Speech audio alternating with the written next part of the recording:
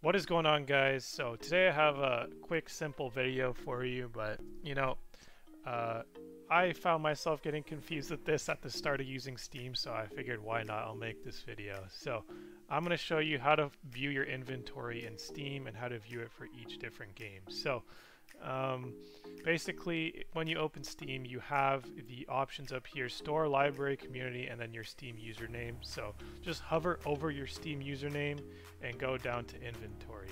That's the easiest way in my opinion. Um, but let's just say you have a version of Steam open like within the game and you don't have these top tabs up here. Um, you can just simply go to um, let's just say go to community, like let's say you have the community market open. Um, so there's also an option on the community market for view inventory up here because you know you're selling items. This is very important to know what items you have in the first place. So it's good that they added another option here and you can just click view inventory this way as well. Um, and as you can see in the top up here, there's tabs for different games. So different games drop you different items. And yeah, I mostly play Counter-Strike, so that's why I have a bunch of different CSGO uh, items in my inventory here. But uh, I also played like PUBG for like a couple hours and I have some items here. So here is my PUBG inventory. Now, there's a bunch of different games that drop you items that you can sell on the community market.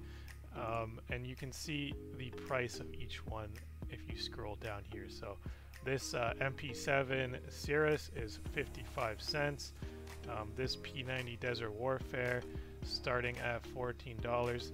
This value changes. Uh, it depends on what people sell it for, like what it got sold for recently, like what people bought it for recently. So um, that value changes. But yeah, these are cool little things you can see uh, in your Steam inventory. You can also click sell and it'll give you the chart history of the price of the item. So you can go week, month, lifetime, and you can just see price of the item.